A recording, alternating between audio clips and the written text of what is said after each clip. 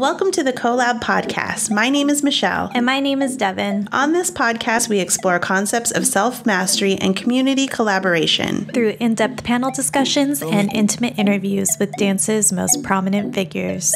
Yeah, yeah. See my peanut butter jelly snack, pull it ride, bust you uh painting. That's my sunshine when it's raining. That's my boo, yeah, yeah. When I'm all alone, she pulled through. Hi, everyone. Welcome back to the Co-Lab podcast. Today's guest has a resume that is nothing short of eminent. An undeniable leader in the community, Selene began her dance career in 2010 with Studio 429's junior team, True Definition. Discovering her path for dance a short two years later, Selene went on to join another one of their junior teams, Breakthrough. In 2013, Selene joined the reputable Choreo Cookies and had mentors like Keone Madrid, Carlo Darang, Chris Martin, and many more. Selene recently closed her chapter with Choreo Cookies in January of this year and has shifted her focus to her role at Building Block as a Seniors Academy instructor. As if her accomplishments aren't already remarkable enough, Selene and her partner, Isidro Rafael, created an online intensive called Ethos, where aspiring dancers are given the opportunity to be empowered, transform their state of mind, and go on a journey of self exploration through movement. Adding to her list of remarkable accolades, Selene was also a cast member for Broadway musical Once Upon a Time and a supporting cast member for the 2018 production of The Beyond Babel Show. Selene has also worked with Cirque du Soleil, Paula Abdul, Beats by Dre, and Billie Eilish. Selene has racked up a staggering 15,600 hours in developing her elegant flow, coupled with her powerful ear for musicality, creating a style that is uniquely hers.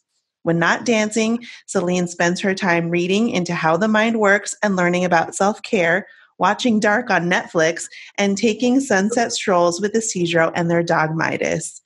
Selene's mission is to uplift and guide people's introspections towards a direction that is self healing, progressive, and empowering to take on the life they choose to create. Aspiring to reach as many people with her mission, Selene is easily a luminary in the community, sparking inspiration with all who are privileged enough to know her. Please welcome our guest today, Selene. Oh my gosh. Thank you so much. Wow, just like like it's it's it's pretty crazy just like hearing everything like, you know, um straight up front, but wow. Thank you so much. Thank you both so much. Um I'm super honored to be here and, and blessed and and grateful, just like filled with gratitude to be able to to share. So and connect. So thank you. Oh, thank you. We're so grateful too. I mean, after like re reliving your introduction that we drafted for you, it's like we feel so honored to get the opportunity to speak with you today. Oh my goodness, thank you. I'm just like it's it's it's pretty crazy because I just it, it really makes me think back on like where and how it all started and it's just like wow, I never and it's it, like I never would have imagined, you know. And it's so crazy because Isidro and I just had this conversation like last night of like, you know, we're just like, can you believe like we're, you know, just like what we've created, what we've chosen to create with our lives and like this unintentional dance career, you know. So yeah, thank you.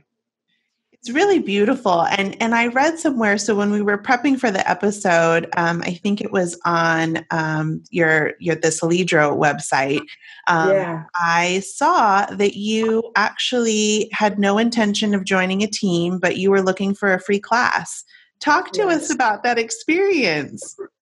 Yeah. So I mean, starting off, definitely like music and dance has always been a part of my life. As far as like you know, grew up in a Mexican household. So Saturday, Sunday mornings were woken up by loud music to clean the house. And my mom is very out, a very outgoing woman and, and loud and loves dancing. So she would like take salsa and, and bachata classes and all kinds of things like that. But I think at the time we were growing up, it was very limited, like financially, you know, there was enough to put food on the table. There was enough for what we needed, clothes and everything, but not really more than that. So um, I always dreamed of like jumping into a dance class, you know, and, and, all the and getting trained. And I'm like, I know I can do it. I know I just need someone to train me.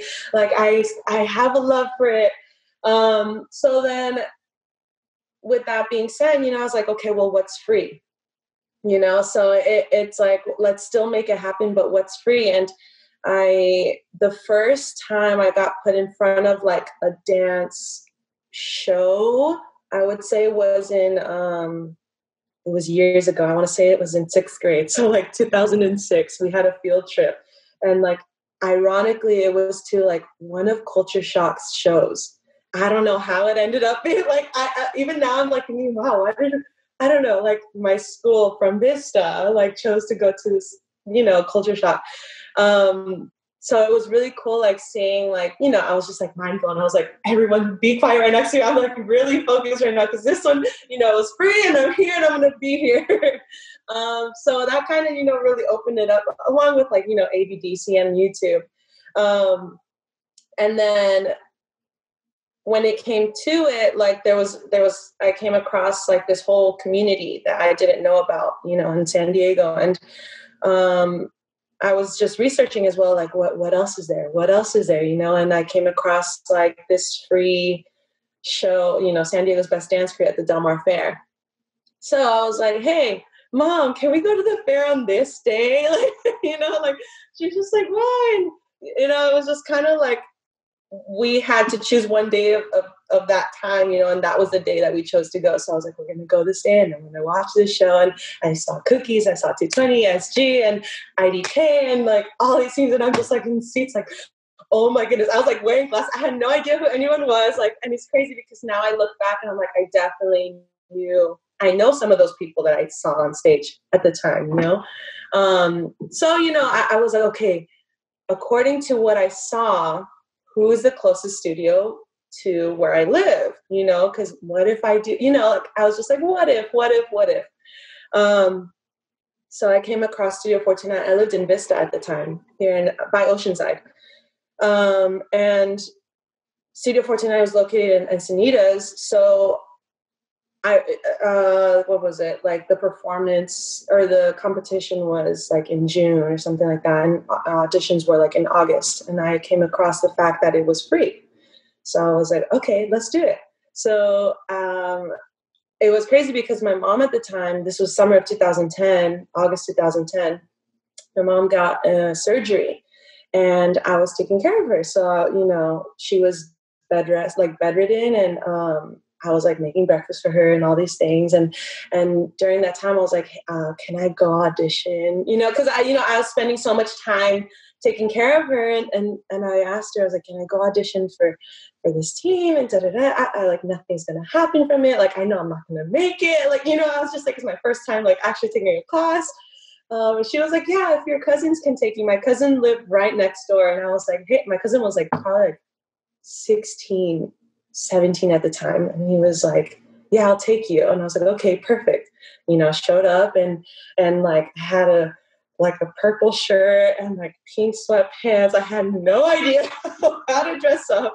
And like, you know, I walk in through the doors and, and it's crazy because obviously super nervous, didn't know anyone.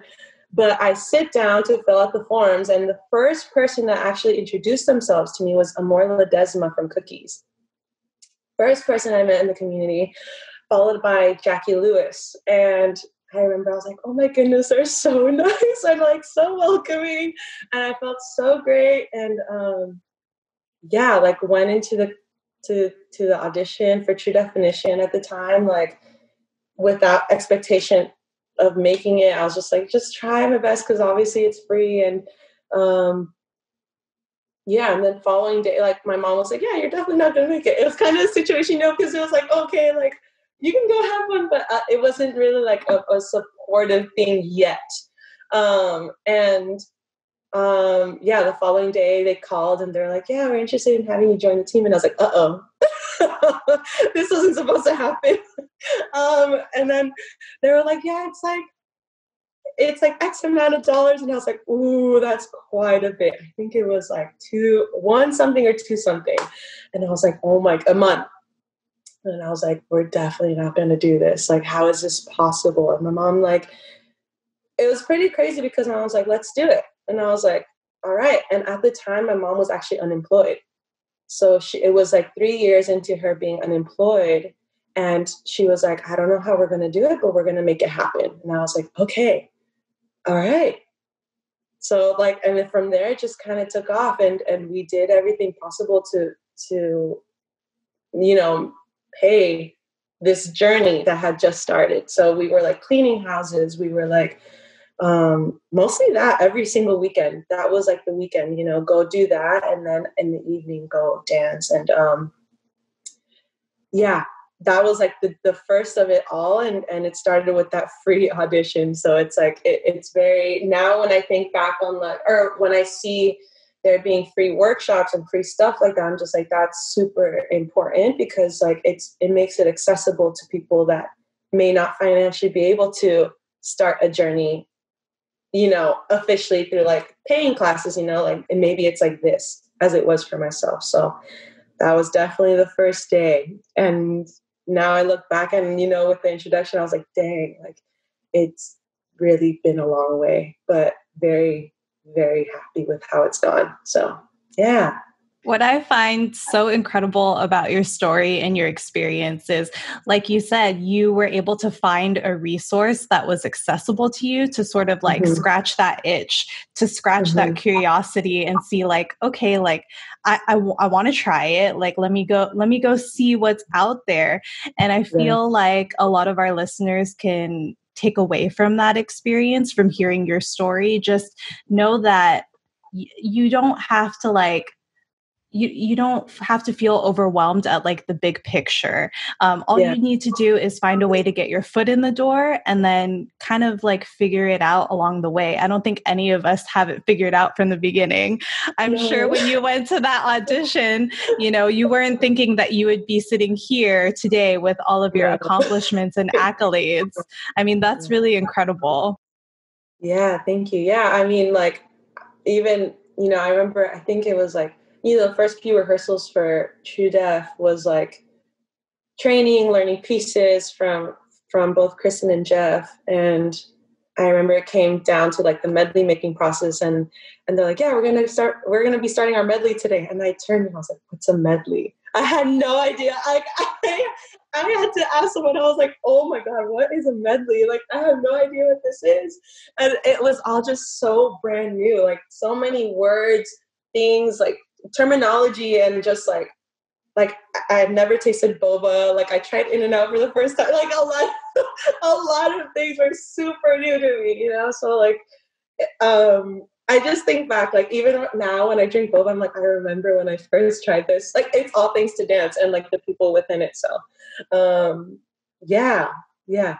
That's amazing. And I really love that, you know, you you went to your mom and you had the expectation of like, okay, it's too much, we're not going to do this, but your mom said to you, "No, we're going to do this and we're going to do whatever it takes."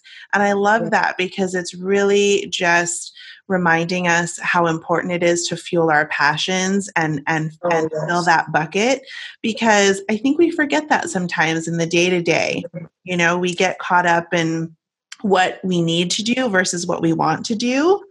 Yes yes that that's and that's super huge. That's something that Isidro and i are on right now like you know do what you want to do because like that's genuinely what fuels you you know? And like at, at, the end of the day we'll make so many excuses for ourselves and like well we can't because boom we can't because boom but by creating that conversation of we can't or I'm stuck or those limiting conversations of course we'll never be able to step out of it because we are giving ourselves ourselves excuses or exceptions you know because we don't allow ourselves to put ourselves in a different situation of like having to figure it out you know like and um i was listening to this podcast about this guy and like he this man i think it was uh, like his father-in-law or his dad asked him like what do you want to do now? And he's like i, I want to be a motivational speaker. And he's like okay we'll do it. And he was like just do it? Like that's it? Like what do you mean by that? He's like yeah just like what's stopping you? You know and like you start thinking about like all these excuses these things but it's because we are afraid, you know, of that uncomfortable, like the discomfort, you know, but in reality, when you welcome that discomfort, you have no idea what else can open open up for you, you know. And my mom being down to like, she, it was actually just crazy because like her being unemployed, it was just like, eh, like honestly, at the time we were even going to like food banks for food, you know, like we it was crazy to be able to think, wow, we're really going to make this luxury happen. You know, we were living in a studio in a one bedroom. Me, my sister, my mom were sharing the room, and my brother was sleeping in the living room. And like, just to think back on that time, like, I'm just like, when I see someone or hear about someone feeling like they're limited in that kind of way, I'm like, no, you have no idea about like your potential or like what you can create. Like, it doesn't matter where you came from you know like it's just like what you do what you how you do it like what you do and um yeah being passionate about that so yeah I love that. Well, and I think I don't, I don't want to stray uh, too much uh, because mm-hmm. I, I, do want to hear a little bit more about your experience with cookies and and and mm-hmm. your dance mm-hmm. experience. But I love where we're going with this because I think especially now in a time with you know shelter in place, you know we're yeah. very limited with what we can do and where we mm-hmm. can go and who we can be with it really is a time for self-reflection and yes. and looking at these opportunities and really trying to overcome those fears because mm-hmm. there isn't much else that we can do right now you know yeah. so mm-hmm. i just i love that you said that and i love that you I, I love that you don't believe in making excuses you just have to go and do and take action i love that yeah i mean at the end of the day you're only as limited as you make yourself to be. Like you're only as limited as much as you limit yourself. That's it. Like really, that's it. No one else is doing that for you. You know, and it's simply us one with our mind. And it's just like, yeah. Like we we tend to like blame things on the outside, but I think it's almost like a lack of responsibility. You know, it's like we want to blame other things. We want to, you know, but it's not really that. like it really just starts from within.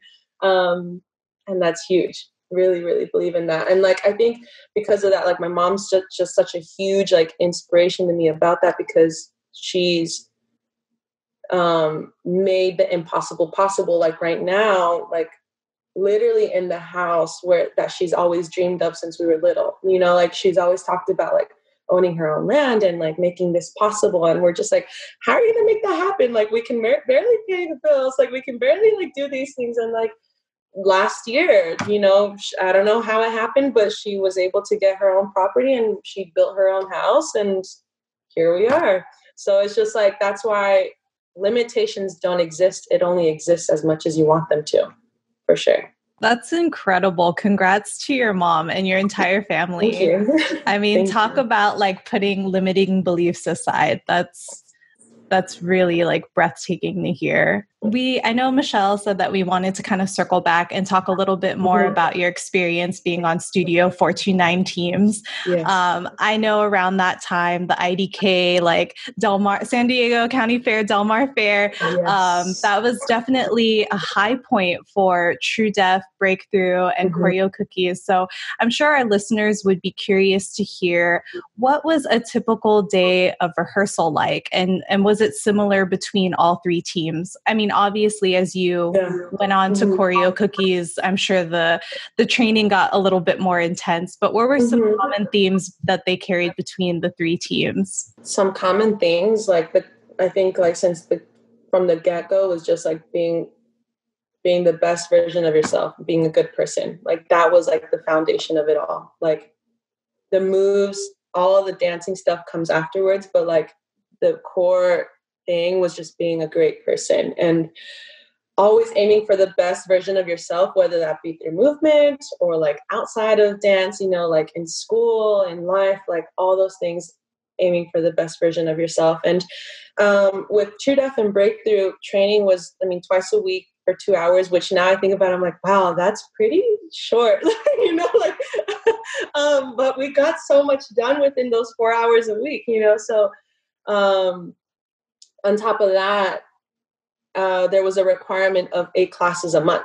So, you know, and at the time, it's which is crazy to think about. Like at the time, on the schedule for 49 was like you know, Keone, Mari, Ving, Carlo, Chris, um, and so much more, you know. So, like, to be able to accomplish these eight required eight classes per month to be on these junior teams was definitely a huge help, you know, like to where I've gotten to today. And once I joined Cookies, the requirement did go down to two classes a month, but the intensity of rehearsals increased by so much, you know, like we were tackling on challenges of like when it came to like building the gravity set you know that was a huge like physical push because we were training with like weights on our ankles weights on boom because we were thinking about uh, it was just like crazy like it it definitely grew by so much not just physically but mentally. I think mentally that's um what cookies really opened up for me and especially due to what i was going through at the time just as an adult growing up you know, fresh out of high school, being the youngest at the t- of the team at some point. Um, I grew, up with cookies, you know, and a lot of like what I've come to understand about what it takes to being a leader or like not waiting for opportunities or like making creating opportunities for yourself all really? Because I'm what I'm well I'm 20 I keep thinking I'm 26 but I'm 25 I'm soon turning 26 I'm 25 years old. So and I joined when I was 18 so I mean you know that that's definitely a huge chunk of like that development into adulthood. So yeah. No I was just gonna say a funny story. I was going through your Instagram Selene and I mm-hmm. saw that there um one of our cousins was actually in your picture um, oh really yeah, he used to dance with 429. It's Nick Nick Balliser. Nick yeah, and, yeah. Yeah. yeah. I was like, I know that guy. yeah. Oh my gosh, that's so cool. What a small wow. world. yeah, definitely. Sorry, Devin, go ahead. What were you going to say? Oh no, I was just I was gonna say like Selene, I do the exact same thing. I'm gonna be turning 30. And so uh-huh. like for the past like six months, I'm like, oh yeah, I'm 30. But I was like, no, I'm not. Like I, I don't need to rush this. Like, yeah. no, I'm still 29. I'm still under 30. Yeah. I feel like there's a sense of excitement. Honestly, I'm just like, oh, I'm 26. Like, like you know, some people fear, fear like getting older, but I'm just like, oh, I don't, I'm not there, like not in that mindset because it's just like you rack up so much wisdom with time, you know, and like, um, you, I don't know. There's just like, I mean, that's a whole other conversation about time, but yeah. I want to hear about. I know you talked a little mm-hmm. bit about your time on on Choreo Cookies, but mm-hmm. you know mm-hmm. you recently closed that chapter, um, and and I want to hear about um, how that was for you. You know, closing that chapter, um, and how you moved on to the next phase of of your dance career. Yeah, I mean, closing that chapter was really hard, really difficult to come to. Like I when I first joined Cookies, like I always imagined, you know, the perfect way of exiting, you know, like with the the last set and like knowing and like crying my eyes out, you know, like at the end of it. I had this whole image thought up. But due to life, you know, sometimes you don't know, you just don't know, you know, and in 2018 was super blessed to become a part of, you know, season one cast for Babel and definitely didn't see that coming you know like i yeah i didn't see that coming but from 2018 to 2020 it did kind of like my commitment to cookies was like not is like was like i would say like halftime um was still trying to make as much rehearsals as possible but there was so much already going on with babel at the time and then um, you know, us getting opportunities like doing Cirque du Soleil and like Beats by Dre and um, and then season two coming up as well and season and then New York, you know, and so I was like, okay, yeah, after um when the opportunity came up to go to Babel or to New York for Babel, I was like, yeah, definitely going to come back into cookies and going to go straight into arena. Like that was the plan. And then in November of last year, I get a call and I was like, it was like 11 a.m. And I was like, what the heck? Like a call from New York. And I was like, that's so odd. And um, I was like, what? I was like thinking, I was like, what if it's like the Britney show? I was like, no, maybe not. I don't know. Anyways, and then I answered it, and they're like, yeah, we would love to offer you a spot for our um, Broadway run of Once Upon a One More Time. And I was like, me? I was like, oh, oh my gosh. Like, I, I didn't see it coming for sure because it was just like, oh, shoot. Um, but like super excited at the time. And I was like, oh my goodness, but where does this leave cookies? You know, so I was like, because that when they were saying how the Broadway run would be in September. So I was like, okay, all right. I was like, okay, well, we can still work it out. I was like, maybe I come back for arena for a little bit and I do arena and then that's the last one. And then I go back into, you know, the Broadway run of this of this show. And but it, you know, COVID hit and kind of took a left turn with everything. And um but I think, I mean, obviously, I didn't know that COVID was going to happen. But um, thinking about it, reflecting on it, I was just like, I think, I think I'm coming to that point where I do, I might may have to leave cookies. This was December, um, and I talked to the directors, and it was really difficult because I did want to continue as long as I could. Um, but I was like, I'm gonna be in New York the whole time, like the whole year of 2020. And then I was like, I'm gonna come back and I'm gonna, I want to, if I'm a part of something, I really wanna make sure that I'm a part of it. Like, I really wanna make sure that I know everyone that's walking through the door and I get to know, like, you know, that I'm really there. Um, but then if I were to come back a year later, I would have missed, you know, a whole new batch coming in. I would have missed like so many things. Um, so yeah, I, I thought that at the time was like best decision to just kind of use, not use, I've always heard, you know, or not always heard, I've come to understand as well that cookies isn't the final destination. It's like the stepping stone into your next thing, right? So um, I was like, I don't want to accept it. I was like, no. I was like, no, it can't be.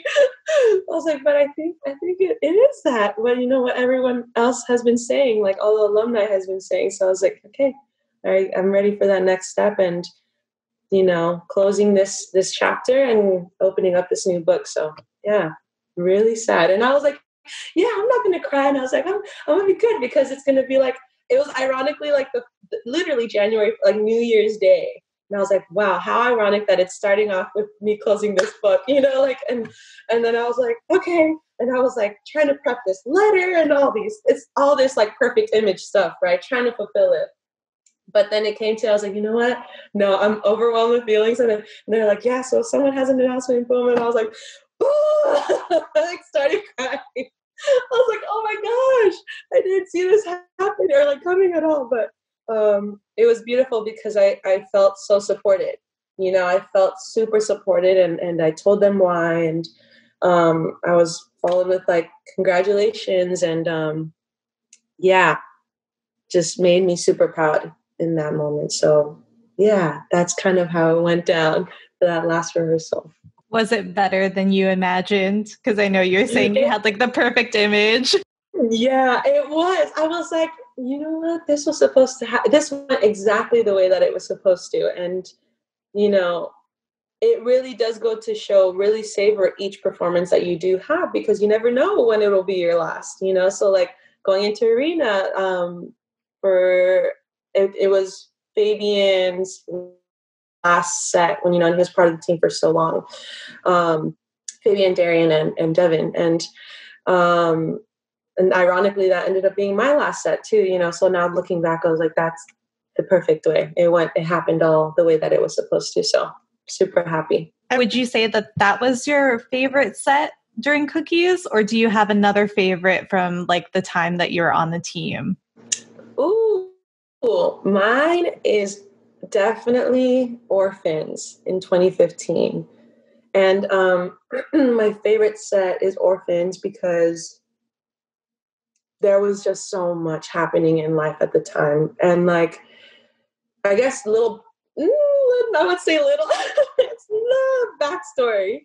Um, April of 2014. Yes. So that was like the year before the orphan set, the Vibe orphan set. Um, my mom had a court hearing for um, she had a court hearing the same day as WAD LA, the Galaxy set. So ironically, that that set too has a lot of story um, connected to my life. Um, excuse me, but she had a court hearing, and and this hearing was was going to de- determine as to whether or not she was going to go to prison. And the reason why that happened was is due to tax stuff.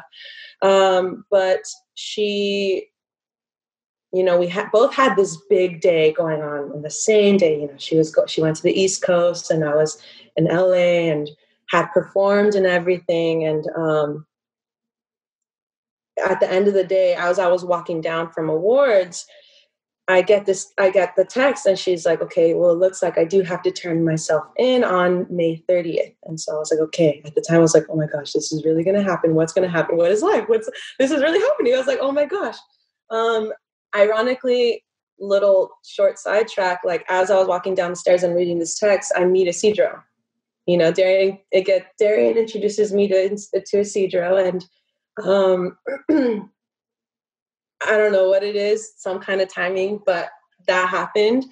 Um, and you know, April was it halfway through April, so my mom my mom's boss at the time was super kind enough to allow me to to sub in for her basically for her job she was apartment she was office manager of an apartment property management company. Um, and her boss was like yeah uh, Selene can take the job for now and like fill your shoes just kind of like teach her how to do things. And it was like bookkeeping accounting and managing and all these things. And i had no idea. I was 19 at the time. I had you know finishing up my first year of, of college. And um, and you know spent all that that time from April 14th and on to May 30th just learning just learning how to do her her role and how you know because my parents are divorced. Um, they have a great relationship and and it's it's they're, they're very supportive of each other but my dad isn't financially stable.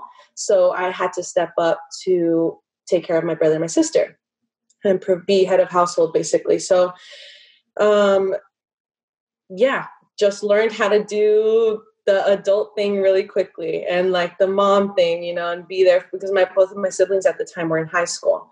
And um come by may 30th driving to work you know and my mom's in the passenger seat and i drop her off you know to get turn herself in and i you know which was like a crazy day to think back on every time because it's just like I remember looking at her just like walk away from the car and just being like life is going to start now. You know, like or it's already happening but it's just like this is like the turning point in my life, you know, and um yeah, that May 30th and on until December of 2015 basically was me just living and learning and paying rent and learning how to work a nine to five while trying to balance school, while trying to balance cookies, while trying to balance, you know, having like that wish of like, oh, I want to make dance happen as a career, but like it's gonna stay as a dream, you know, like it, it was like a lot of things happening at once. And um so fast forwarding to orphans, orphans like the creation of orphans like was probably the most fulfilling thing to my soul at the time. Like it was just so like those six hours a week that I had with them because I didn't have outside extra time to dance or, or you know all those ex- extra things. Like when I was with cookies I was with cookies. Like I was there. I was like fully there. So when it came to learning I was there. I'd go full out like 100% when it came to casting like bet that I was like crying my eyes out when I was casting. You know, like it was all just fully present. And um, no one really knew what I was going through at the time until the night before the performance of orphans. And like you know everyone kind of just started opening up about their stories of like how they you know grew up their relationship with relationships with their parents and like things like that. And that's when i opened up my story and i was like well kind of been living on my own and like all these things. And um yeah it was the release that i didn't know i needed i guess and um come to the perform the actual performance i think you can catch at the very end of the performance me just like break down by myself and just like have this moment of like um it, it, it's a little bit of everything like growing up so fast and um but being so blessed at the same time to be able to still dance and and dance with the dream team that I've you know the team that I've always dreamed of and all these things. And ironically that same night Isidro asked me to be his girlfriend you know so it was it was all just like for for many reasons that set is holds so much in my heart you know and I think back and again it goes back to like the introduction you know when you guys were were saying all these things I'm like dang, like I think back to those times, you know, I'm just like, wow. I don't know. I don't know why things happen. I don't, you know, but they happen and they're meant to happen the way that they're supposed to. And um, I'm here just living through it and learning from it and evolving from it. So Thank you for sharing that. That was really beautiful. I I, I, I want to make a couple of points. I, I think mm-hmm. that I want to commend you for, um, and and really hopefully our listeners can take away from this for really setting the example of you know allowing those obstacles in life to empower you as opposed to bring you down because mm-hmm. it's so easy that we can allow these things in our life you know extra things that are happening you know that, mm-hmm. that really impact us in a way that we don't know to, to really yeah. bring us down without really knowing it, you know? And like you were saying earlier in the episode, you allow those things to give you an excuse or give you an out. Um, but you really took those things and you said, no, I'm going to just keep moving forward at 100 miles per hour. Mm-hmm. And I'm just going to take on life, right? And I think that that's a really beautiful message and really empowering uh, for our listeners. So I, I love that about you. And I think that's what makes you you, Selene.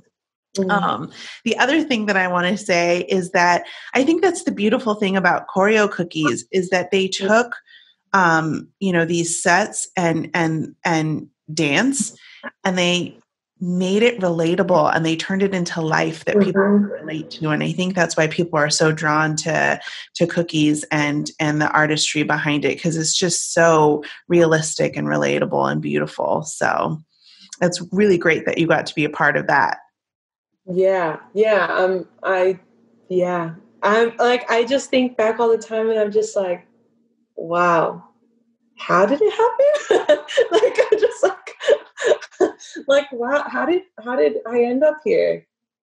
But it's just like, just because I'm just overwhelmed with like, I'm I'm I'm super blessed. I'm like, and just like grateful for the things that did happen. And yeah, yeah.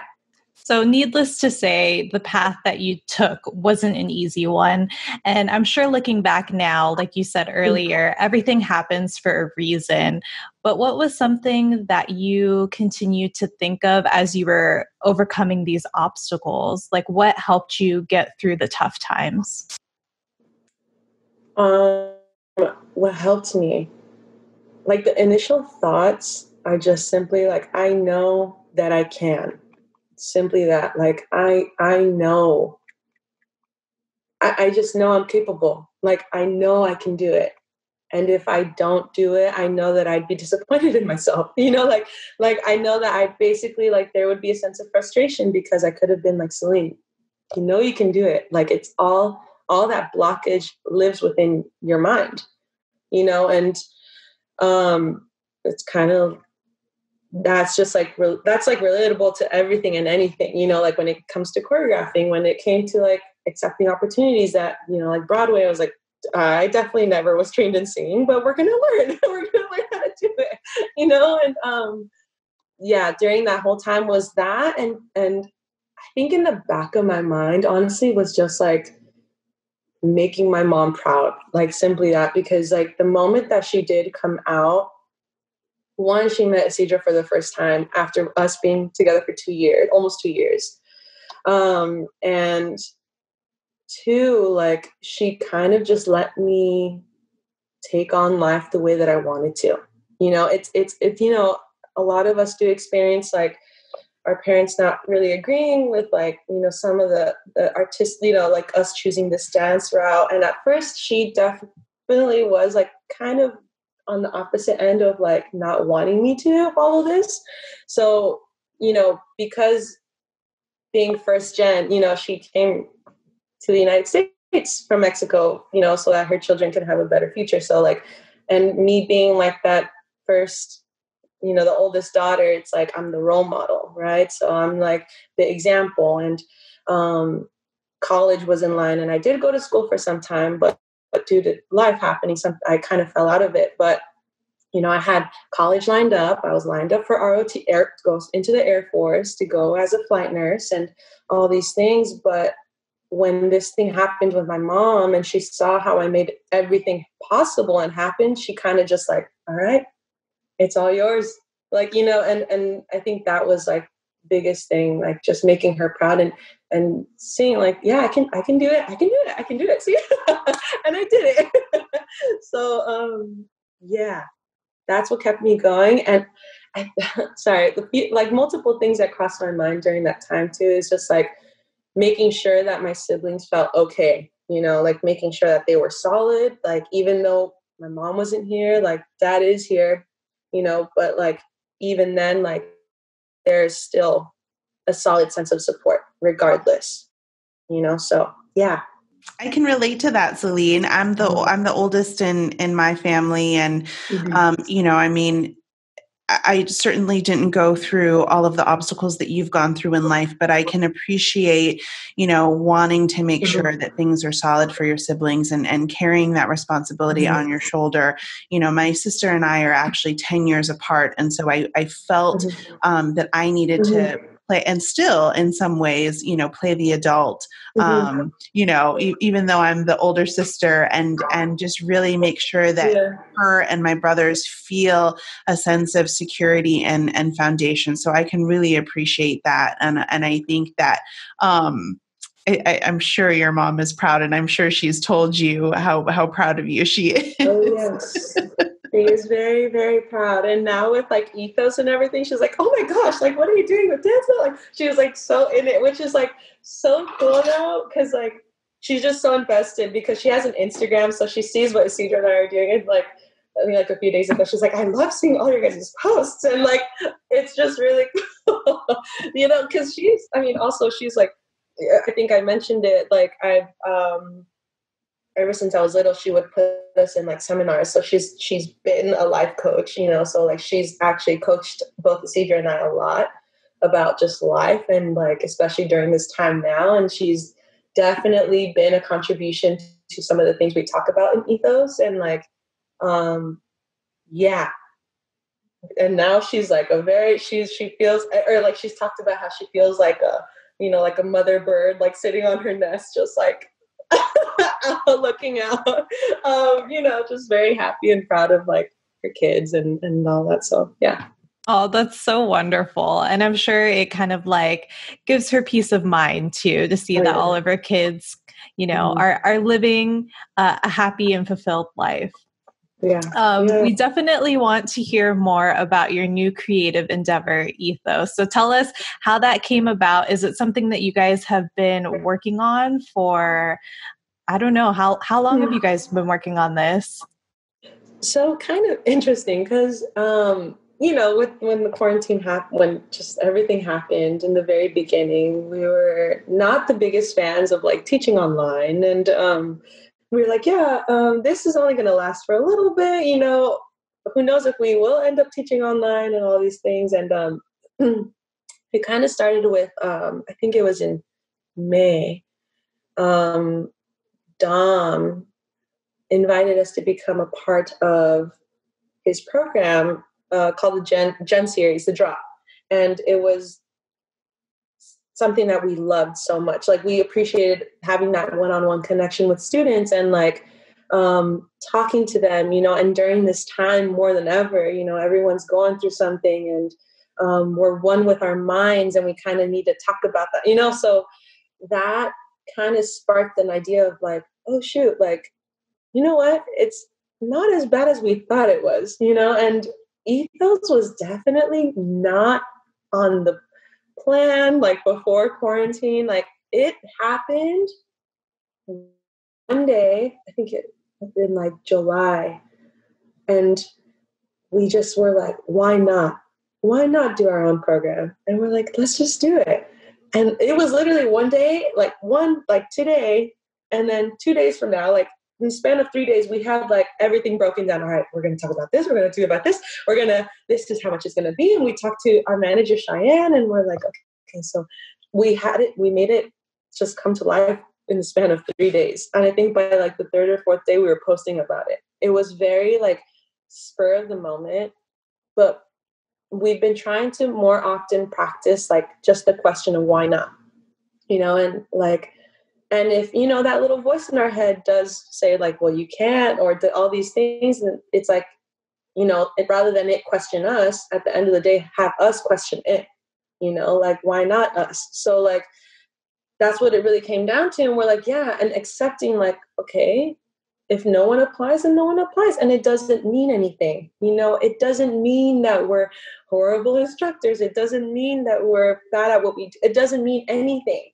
You know? So like we were just like ready to accept anything and everything that came with it. And um I with without expectation, you know, we ended up getting quite a handful of like signups and we're like sick. All right. So this is to happen for sure.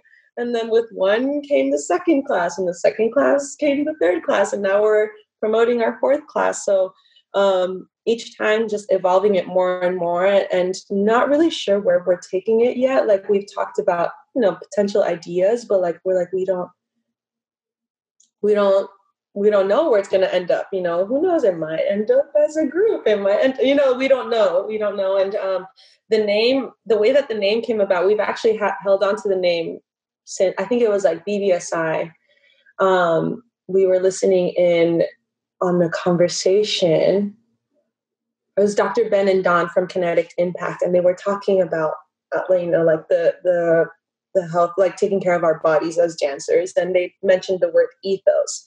And ethos, like it stuck to us in that moment. Like, we like looked at each other and like, let's remember that word, you know, and like um because it's like it's like the beliefs of like within your community, right? And so yeah, we held on to that word. So when it came to creating this program, we're like, let's name it ethos. And it was just like, boom, all right, that clicked. All right, sick. Let's continue to move forward. And um yeah, mostly like what that program is built on is just like mindset. Like mindset is first. Like that is like the core to it all. A lot of us get, you know, very I think like convinced. We get convinced that dance is solely physical, you know, or like majority physical. But in reality, it's way more mental than it is physical, you know, because a lot of us you know we can experience like self-doubt self-negative talk and we'll fall into it you know and then what happens with dance? We end up falling out of love with it you know by falling into these conversations. So um that's mainly what ethos what ethos is about is just building creating those shifts within our mind that feed into greater results. You know like sometimes we just need a small mental shift to create results that we thought we would have accomplished in years in the span of like days you know? So like it's pretty cool because like we've seen people like they're like yeah i created i they uh, we'll have a one-on-one meeting and the next one-on-one meeting they'll be like yeah i created my team we're like okay sick. They're like something i thought would have that would have happened in like the next two years. Or like we have someone that is moving to china you know like they, and they're like yeah i just you know why not? And they're like, you know, I'm going to move back home and all these things. And we're like, wow. And it's super inspiring. It's just like a two way street easily. You know, we have, you know, they say, like, they say we're inspiring them, but easily they're inspiring us too, you know, which is why both Isidro and I feel like we are, um, we just want to set that example. Like, we can, you can do it. You can do it. And what's the secret is simply that, that mental shift, you know, like shifting it into like a positive mindset and um, along with many other things, other conversations. So yeah, kind of what ethos is about. Devin and I are, are, pretty strong believers in in the, in the power of the mm. mind, and I think mm. one of the things that we really appreciated about Ethos is that it's not just an online dance class. It really elevates your experience. Um, and, you know, and as we said on the intro, you know, we took that from your website. It's really a transformative experience, and I, I think that that is really unique. And I think it's going to go a long way in in mm-hmm. in the way that people see dance, because you know, dance is exactly like you said it isn't just about movement it's about mm-hmm. really um, honing in on those those fear-based thoughts that creep into yes. our mind um, mm-hmm. and making sure that we eliminate those and i really i really love the concept behind ethos um, talk to us about you've mentioned that there's going to be a fourth class coming up talk mm-hmm. to us about how that works and and i think i i saw that you're you're currently accepting submissions for that Yes. Um, so for the fourth class, you know, Cedra and I have been talking a lot. What else, like, how else can we offer what we have to offer? And what the, the main thing that we want to add on to this next class is like um, more like documents, you know, and creating like actual things that, you know, will be helpful, you know, maybe like someone that completed it, you know, say they complete class four and then like in a month they're in that rut or like they, they're feeling like a little down or like, you know, falling into that negative self-talk, they, they're able to look back at these documents and be like, that's right. All right. Like it just, it's like a remind those reminders, right? So we're trying to um, currently create the, those documents and, and see how else, you know, and kind of jumping in honestly, like thinking about like asking my mom and like you know because she knows all about these kinds of mental things and like how to work through the mind and like recreating that or the image of the brain right? So like reform, like reforming it. Um but yeah and then signups uh they are currently open and and they were they're going to be open till i think it's wednesday of this upcoming week. And then we'll be starting our first session on the 11th sunday october 11th so super excited and um, just to see what will come out of this because we have a little ecosystem slack so everyone that's like graduated from each class you know comes into this ecosystem slack and every like it's blowing up on a daily like right now like literally like it's on a daily basis everyone's just like messaging each other about like you know um having a session and like dancing or like they're doing call outs, you know, ecosystem call outs for like choreographing in 30 minutes and like freestyles and all these things. And we're like, that's that's amazing. You know, like everyone is on the track that they deserve to be. You know, like it's it's they deserve to be happy. Everyone deserves to be doing what they want to do. And and we're just really just overwhelmed with happiness to be able to see people, you know, from or past students doing that now. So yeah.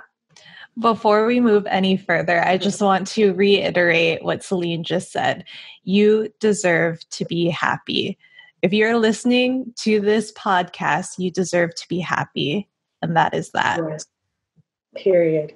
Exactly. Because, oh, that, oh my gosh, I am such a huge person into like, I'm into healing. I'm into like all about like the forgiveness conversation and like self transformation and like, you know, self reflection.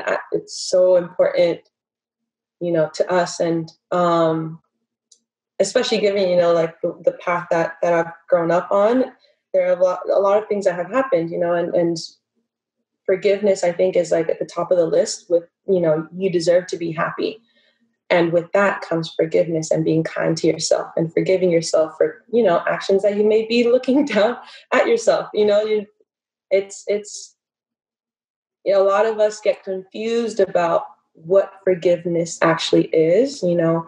When it's forgiving someone else it's not necessarily for them it's more so for you and for lifting your heart and for releasing your heart you know, from that stress, from that negativity, from that pain. Um, you know, sometimes we'll carry the concept of like, well, I'm not going to forgive someone until they forg- uh, they say sorry first, or whatever the conversation may be. You know, but um, that's not the case and that's not how it works you know so um, whenever it comes down to that forgive yourself and being kind to yourself is is super important. Can you mm-hmm. talk to us a little bit about your relationship with Isidro and like how, how do you balance dance um, business and and all the things that come with you know having an amazing partner? Yeah um it's all in one right? Which is like pretty crazy. Like i it's like it's a i'm super happy about it because it's like you get to talk about everything at once but because of that too it's like being able to separate it as well in times you know like when like you know we like when was it? I think it was yes two days ago. We had a day where we just went out and like drove along the coast and took midas out and it was just us time and and i think we like we don't say it but i think we know when we're in those times we don't really talk about you know dance or like movement. We, we more so talk about like us and like what we want for our lives and our personal relationship and and um, those kinds of things. So being able to incorporate it in appropriate times but also like being able to have it you know separate at times as well and finding that balance you know and i think like or not i think i know for a fact that those walks that we have we haven't had a walk in the evening as of recently but we were there was a time where we were going like every single day. And that was like 7 p.m. We go out and we go on a walk with Midas, and it's just the three of us. And we just like hone in and like whether it's just like being in silence in our own minds for like 20 minutes of the, the first 20 minutes and then the last 30 minutes, you know, it's like together. But um yeah, like it, it's that was also so important for it is so important for our relationship having that time of like just like sitting back and reflecting, you know, what's happening and like what have we done? What do we want to do? Um, and like, or like the conversation I kind of mentioned it earlier of stories, you know, how can we overcome those conversations in our head that have limited us or are stopping us or what is stopping us, you know? So um, we've we've really come to understand each other's work process as well when it comes to like um like dir- like directing. You know, we have May Rocky, and we um, and when it came to us like leading a room t- together, we found a balance in that. You know, and it's kind of like more so reading off of each other's energies and um, like balancing it all out. It's definitely like that yin and yang feel. Um, but yeah, and and when it comes to like real life or not real life stuff but just like outside of dance you know if we come across conflicts like we try our best to talk about that and not just like kind of like stay on the outskirts of it but it's like what's actually going on you know what are the facts you know and do we want this to be like is this staying in line with who we're saying we are as a relationship as partners you know and like we have those we have like little I am statements. Um, I have three. He has a set of three, but we also have a set of three. And these I am statements are more so for grounding. You know, they they are meant to transform our way of thinking, and they are meant to keep us accountable to who we truly are. Um, so, like because we have our three relationship ones, like you know, the way that we go about a disagreement does it stay in line with these three words that we say you know? So it's definitely like very important to us. And it respect is it very important to us as well. Like because you know I, I i remember hearing it somewhere and like they talked about how um it's very odd how we tend to disrespect you know the closest people to us sometimes and hurt them the most versus like and we tend to treat strangers like the nicest and it's kind of reversed. Not that it, you know like disrespect a stranger but like um you know the, the sense of love that's there you know is sometimes lost for those people that are closest to us. But coming back to that you know and remembering that you know we love each other and we're there for each other you know and we're you know maybe when one of us is feeling on the little like lower end like helping to lift and vice versa it's a two person job. So yeah I love that. That's really powerful, you know, and and and I love that you're you're saying that. I mean, you and and Isidro are, um, you know, clearly clearly you have respect for each other. But it took me a really long time to realize that in my own marriage. You mm-hmm. know, I mean, I've been with with my husband for you know twenty years, and we've been married mm-hmm. for twelve years, and it took me a long time to see that, and only later in life did I realize how important it was. And I love the message message that you said about treating people or treating strangers you're always mm-hmm. more to have a tendency to be more nice to them and then you really don't respect or, or you take advantage of the people that you're mm-hmm. with um, because mm-hmm. you feel like you're more comfortable and you feel like you can kind of just like be yourself yeah. but sometimes being yourself translates to like not being the best person right yeah.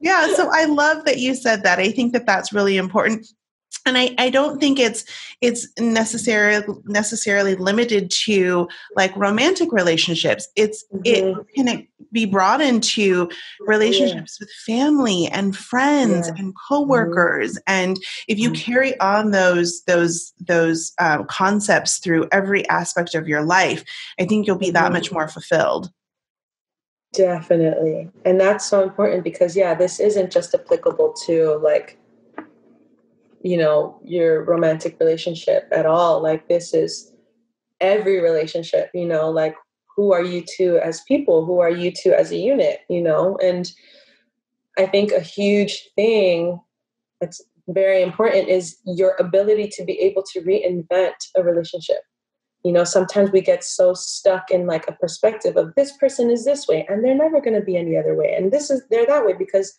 and we grow a filter on them you know and we grow this filter no well of course they're gonna they're gonna push me down because they've always pushed me down you know da, da, da.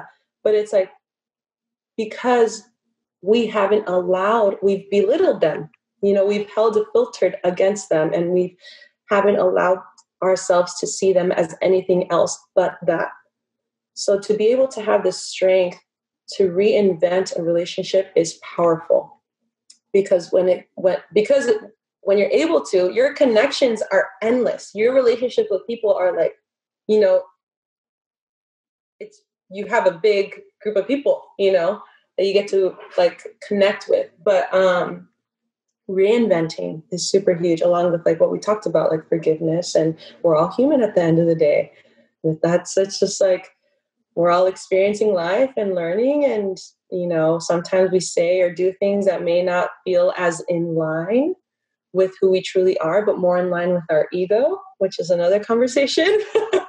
Um, you know like our ego isn't who we truly are. It's like that you know that pride. Um, yeah i think that this this this is super interesting to me all the time and like how we connect with people because oh man. The moment that we're able to just like look beyond who we think someone is the possibilities are endless. You know the possibilities are open and um yeah.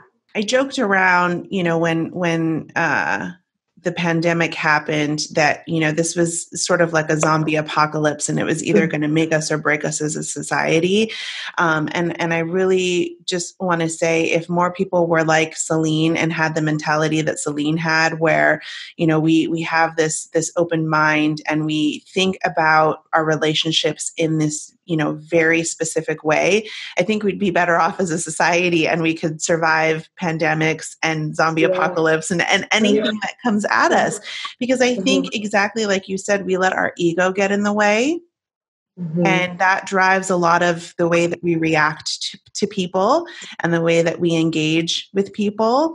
And I think yes. If, if, we took a step back from that and put our ego aside, I think it would would be we would be able to survive anything. Definitely, yeah. The ego. Oh my gosh, that it's so like when you're able to reflect and catch the moments when you're speaking from your ego you're able to redirect your response, your ways of responding, which is also transformational.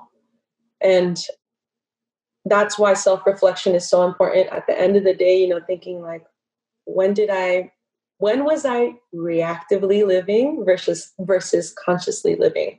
You know what triggered me today? What got me mad? Or like you know what what made me feel discomfort or uncomfortable discomfort you know? So um, being able to recognize those moments and asking why you know why did i feel like and the thing is like a lot of us think that like life is happening to us but it's like not at the end of the day you're create we're we're creating our personal reality you know? Like we are we process the things the way that we want to. You know if we're living if we're living life with the filter of like no one ever likes me you're only going to look for things that prove that.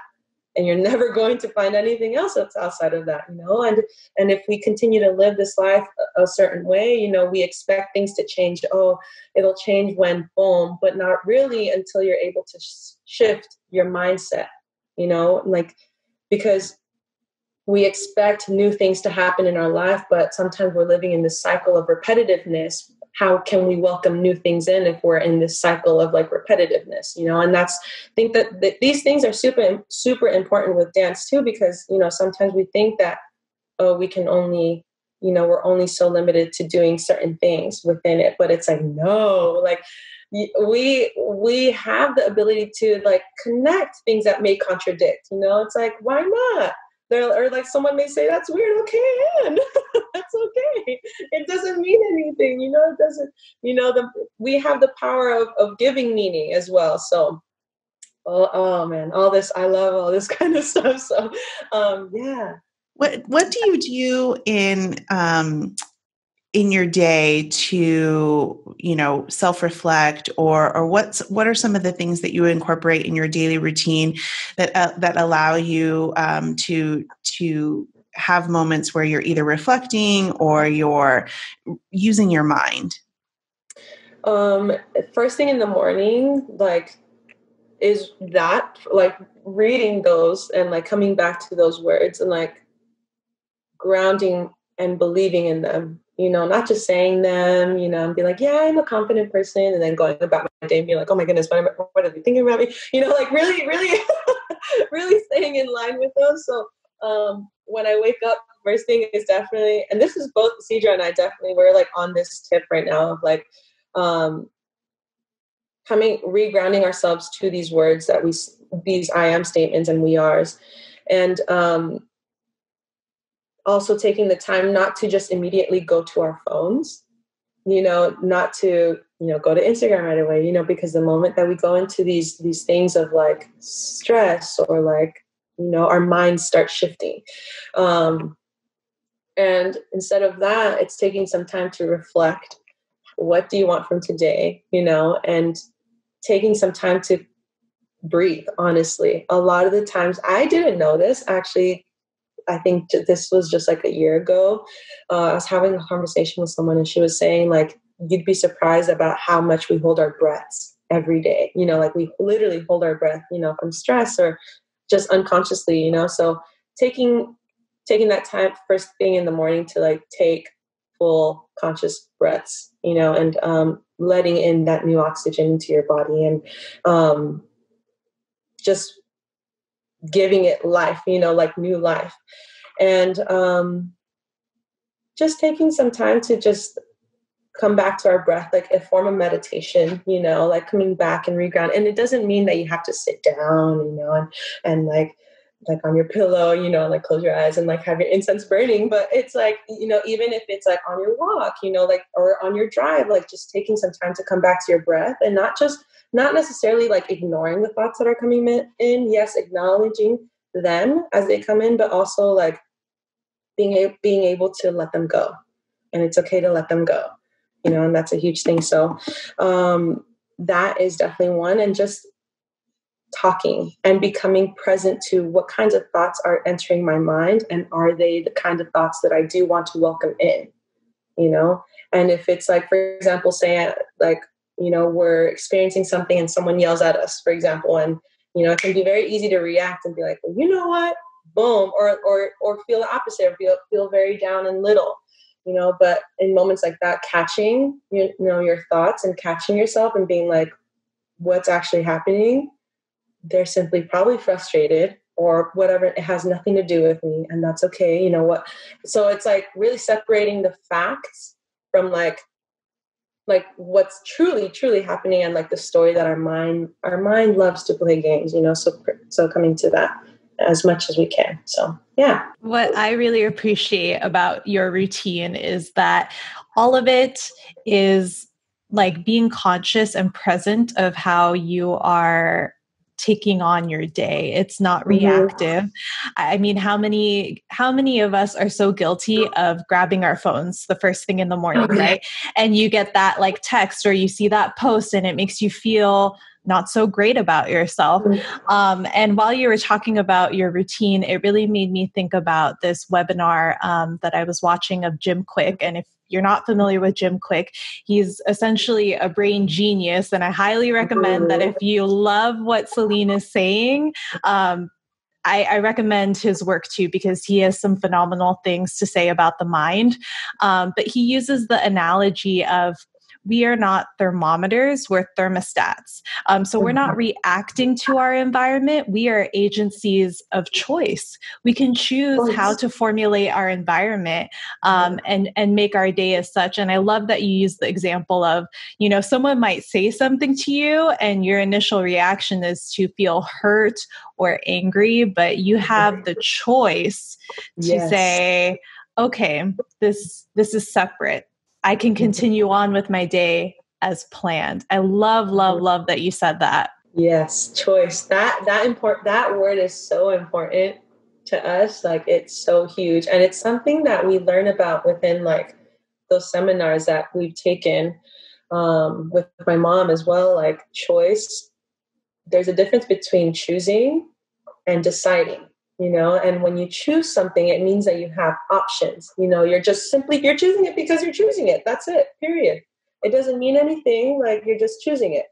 Um, but when you decide something when you decide on one thing i is killing off decide. You're killing you know pesticide genocide suicide like you're killing off your options you know? So you think that you have only one way of going you have to go this way but it's not necessarily that you know? Sometimes we get so so so stuck to that like oh it's either this or that you know? Like i can't it, it, we feel like we can't you know? But the choice you get to choose to create the life that you want to live easily.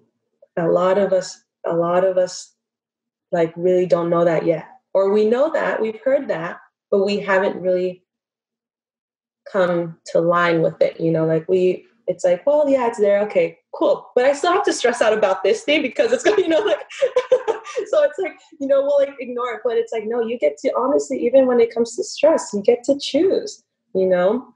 Um life is our game and we get to create the rules that we want to live by and and no one else creates those but us you know ourselves for our own life so yeah I feel like I, I owe you money after this conversation. I feel like we should be charging our listeners to for this podcast. it's like well, a full-on seminar. it's therapy. It's therapy. Oh my gosh, it's so it's so much fun. Like talking about this every time. Like I don't know like my mom will come by, she'd be like, oh, talking about this other thing. And I'm like, oh my gosh, okay. And then I'll tell Isidro and then Isidro's like, okay. And then we'll like have a conversation. Oh my gosh. It's it's super fun to just like figure out this puzzle. That's it's I mean, it's not like we'll ever finish it. It's it's ongoing for the rest of our lives, you know. So and it's not like perfectionist, you know, well, oh well, we get it. You know, today we like today you know sometimes we do have days where we wake up and it's just like boom our phone you know like or you know we're human and it's just like okay Selene you know maybe you went through your day the way that you didn't want to but you can redirect it you know you can end it differently. So yeah well and like you were saying earlier just sort of allowing yourself to to be and you know and and you know i don't want to say mistakes because mistakes is not the mm-hmm. a right word but just sort of allowing yourself to to be and go through your mm-hmm. day um, and then you have tomorrow to reflect on ways that you can improve Yeah. I, I love I I I really am look I'm sitting here in awe, Selene, and I love this because you know you're you're such a beautiful dancer. I was watching some of your videos and I was my husband and I were just like in mm-hmm. awe at the way that you move. But I love that we're having this really cerebral conversation because I mm-hmm. think um, just going back to you know the whole origin of ethos your yeah. mind is so important and you have to really yeah. um, to be able to reinvent and rethink things is just mm. so powerful. And I, I, I really just yeah i mean listeners you're getting this all for free. I feel like we should be charging you for this. I mean like it's staying i mean on that tip too like it's okay to change your mind. Maybe yesterday you thought you didn't like something and then today you're like wait actually have a confession. I like, you know, like, so it's just like, it's okay. And I think some of us, like, again, our ego gets in the way where it's like, no, you should be, you should know, you should, you should, you know, whatever, this person told you this, and that means that this, uh, none of that, you know, it's just like, yeah, I, I don't know. It's, it's, it's, it's a, it's a game. It's a game that we get to play and, and we choose, we choose at the end of the day. So I love that word. That's what it comes down to especially like in the moment maybe like in a moment where you feel so frustrated and you're just like oh all these things like if you just simply think about that word like choose like i get to choose what i create from this boom. What are you choosing? Are you choosing to go downhill from it or just like kind of just you know go uh, in a different direction? So yeah. Well and it really simplifies your life if you think about it. If if you live off the simple the simple premise of living your life by choice. Imagine mm-hmm. how much more like not only simplistic your life would be, but just how much more fulfilling it would be because you're living your life by the choices you make. Like I, I don't know mm-hmm. if our, our listeners are, you know, can really grasp that, but it's it really is that simple. Yeah. Yeah, and honest, sometimes like you know, this this thing doesn't happen overnight. You don't just wake up and you're just like, all right, I'm gonna meditate. All right, I'm gonna do this and I'm gonna do that. And I'm gonna feel great for the rest of my life. It's a process, like you know, because because the the reason why is because so many years we've dedicated to negative self talk, and it's worked for us. You know, oh, you're not great at what you do, so I'm going to try to, or not try, I'm going to convince myself that I'm not, you know, but it's like that. When you're constantly falling back on that negative self talk as your homeostasis, you're never going to truly feel good or happy, you know? So, um, or like, you know, any kind, and literally any kind of negative self talk. So it's really important to have your homeostasis as like this solid foundation of like, you know what? I may not know how to do it right now, you know, but I, I I'm going to do it, you know, or like, I believe in myself, simply that period. Um, and that's super important with dance, you know, that's so important to believe in yourself because many of us have fallen out of it because, you know, for many different reasons. Um, and, and, and this isn't just dance, like this is in life, like school, maybe, you know, we, we feel discouraged for some some reason we didn't get into the school we wanted to you know or or or into the major that we wanted to, whatever it may be, anything, anything. It's just, yeah. So. Well, on the topic of choice, I think our listeners would definitely be interested in hearing Selene's choices and responses to our rapid fire question. So, how about we transition over to that? Oh, let's do it. All right. So I'm going to set a timer for, well, okay. So we've always said that this is like 30 okay. minutes, but I'm not 30 minutes, sorry, 30 seconds, but we okay. feel like that that's not really enough time. So we're going to go 45 seconds today. Okay. okay. We'll give you a little Ooh. time and go. Choreo or freestyle? Choreography. Student or teacher? oh, that's a tough one. Oh my gosh. You know what? Oh no no okay. Oh my goodness. I say student. Student. One word to describe your dance style.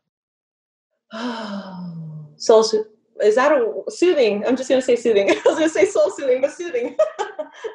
if you could write a book, what would it be about? Oh my goodness. Self transformation. What's your dream job? Dream job. I don't. Um. Oh. I, okay. I don't know if there's a title for this, but just simply being an instructor for a ton of kids in some kind of way, whether it's like teacher, preschool, dance, like any in any kind of way. Time. That's time. I loved that. I loved that. I, I do. There is um, a couple things on here that we didn't get to, um, and, and, that I maybe want to ask you about. Um, I saw on your Instagram that you and Isidro were wearing um, Charger gear, San Diego Chargers or LA Chargers. Oh snap! I was San Diego. That's home. oh my gosh, yeah. That's so funny. That that picture, we got tickets. Um, I think it was one of his his parents gave them gave him tickets and we're like, yeah, why not? Let's go. And it's like the only game that we've seen like all the way through. so yeah, I mean it was a fun memory. That's so funny. And then one more question. If you mm-hmm. could choose to be one age for the rest of your life, what would it be? Oh, one age for the rest of my life. I mean, I'm not 30 yet, but I would say like 30 probably would be it, you know? Yeah, I feel that. I love that. Thank you so much. That was so much fun. I, I we always cheat because um, you know we, we try to get through as many questions as possible and we mm-hmm. don't always get to them. So even though we call time we, yeah. try, we try to sneak in a little bit more. Oh yeah. I mean i'm all about talking so i can talk all day about anything and everything. So i love these. Thank you so much. Thank you. Thank you. Oh my gosh. Yeah of course. Well we love talking to you yeah it's been super fun and like just regrounding to everything. Again it's just a it's a beautiful reminder all the time. I, I think it, also it's like you can never talk about this too much you know because it's always something new will open up or or maybe things that we've been avoiding to confront. You're like oh shoot. Oh yeah. That's the truth about that. You know like anything new things always open up so it's always good to have these conversations and um it's kind of like your foundations in dance. You can never do them too much um, I, I, we didn't get a chance to talk about it, and I do want to talk a little bit mm-hmm. about it. Is your experience with the building block as the the senior academy instructor? Yes. Oh my goodness, that we just we just completed it actually. So I think uh, on Thursday we just completed it. We started it on August 11th, I believe, um, and it was it's an eight week program, twice a week, three hours per per session so it's a total of six hours per week. And um, that basically, the way that Isidro and I went about it was what do we wish we knew when we were at that age? You know, what do we wish, you know, we got guided through. So for us, we we really took some time to hone in on like the choreography process, you know, and the mental process behind choreographing. A lot of us, you know, it's just like I can't choreograph or it's too hard to choreograph. But that's the conversation, you know, that we create in our minds and and really letting them in on, hey, like you can recreate that conversation for yourself. You know, it doesn't have to be hard. It doesn't have to be, it doesn't have to be any like this way, that, you know, any specific thing. So um the way that we've always been taught that it's difficult, you know? So yeah, t- taking time to like focus in on that, like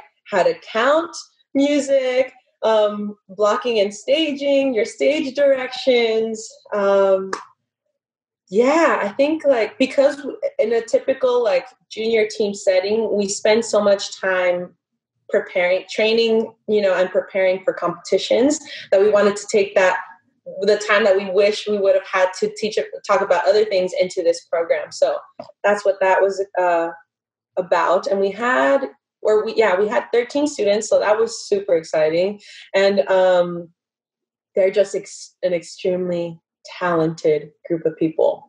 And, and like we just constantly tell them that hey you know you may you may consistently get that you're the future but you're not the future you're the now you're the present you know and that's super important to know that it doesn't mean that because you get your usually or because the the upcoming gen is usually given the title of like you're the future you know we get convinced that oh we don't have to start working until then you know or like we don't have to start doing until then. But it's like you can start doing now and you have no idea what can open up from that. So that's definitely the conversations that we um, brought up with them. So yeah. Is it virtual? Are you guys doing that virtually or is it in person? In person. Yeah in person. Yeah so that's been really that's been really amazing. At, at, first, it was definitely very scary. We are like, okay, no one like don't like really stay away. And obviously, we did still keep like everything a social distance. But at first, it was like awkward almost. It was like, what are we allowed to do? Like you know. So um, we ha- you know we marked off the, or um, the studio would be marked off with X's on the ground, and everyone would have their spot, and water bottles would be spread out. But that in-person connection is so important as well. So it, it's you know being able to see them blossom was a beautiful thing you know? And like some of them already knew each other so it was like almost like picking up from where they left off or some of them got to know each other and and we were just constantly telling them like do the work show your work always show your work and and just do do do because why not? You know and um so they've they've been they've been doing a lot of corporate projects and they've been posting and they've been you know teaching each other and collaborating so. That's awesome. Well what's next for Selene? What is next? Well i guess like i mean we have ethos and and we're in the final months of 2020 so, what we've actually been preparing for is a move. Isidro and I ha- are in the conversation of moving to New York at the beginning, mm, depending on like, you know, the whole COVID situation, like, um, but moving to New York for 2021 and seeing where that takes us and kind of just like jumping into new waters and just being open to failure, whatever failure is, right? We're just open arms, like welcoming it all in, new experiences, new people, creating connections, and seeing what we can do from the unknowing, if that makes sense. yeah. So that that and I mean we're we're we're currently planning for that, saving up for that, and to move in or to move with Midas as well. And um, what else? I mean, from there, Babel the Broadway experience, you know, with Once Upon a One More Time, um, and just keeping that connection with people, continuing to connect with as many people as we can right now, and um, carrying on those relationships beyond quarantine. So, yeah. That's amazing. Uh, I, I was actually in the rapid fire was going to ask East or Devin. I had it on the list, East mm-hmm. Coast or West Coast. Um, but it sounds like you've got a little bit of both. we have our heart in both places. yeah, I mean, it was definitely like if you would have asked us a year ago, like we would have said no. Like we were, we're, we're staying in San Diego. Like the, we're not moving, but we got a little taste of it. And Isidro was visiting often, you know, while I was over there, and um, we were like, it's not, you know, it's pretty fun. and we're like, you know, it's like you know, changing our minds. It's like, yeah, we actually do enjoy it, and um, we're super excited to just like see what is possible. I mean, everything's possible, but but just seeing like what we can create from that space. So yeah. That's awesome. Very cool. Um, and then the final question for you, Selene, mm-hmm. is what's good in the dance community right now? Right now, I would definitely say is the amount of resources and tools that are being given out. I say given because some of them are being put out for free, some of them are being put out at a price, but it's worth it because you're able to access it around the world, anywhere you are. Um, but just like online programs, like the directness, the uh, yeah, I, the directness to directness, yeah, to um, instructors is closer, you know, and and I think that's like really nice. And these online programs have really allowed people to connect and like get that like the a fulfillment that they didn't know they needed you know So like people, like I, I've heard so much about like people within programs staying in connection and knowing each, each other. So like this time has been a blessing in disguise because it has allowed people to get to know each other from different parts of the world.